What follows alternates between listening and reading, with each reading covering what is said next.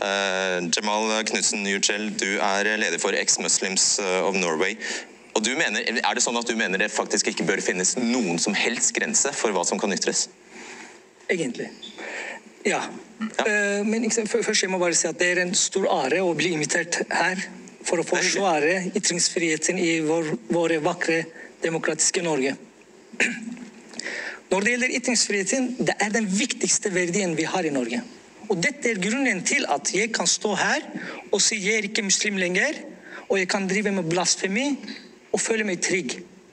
I ti muslimske land i dag, i 2020, det er dødsstraff for å krenke islam, drive med blasfemi og apostasi.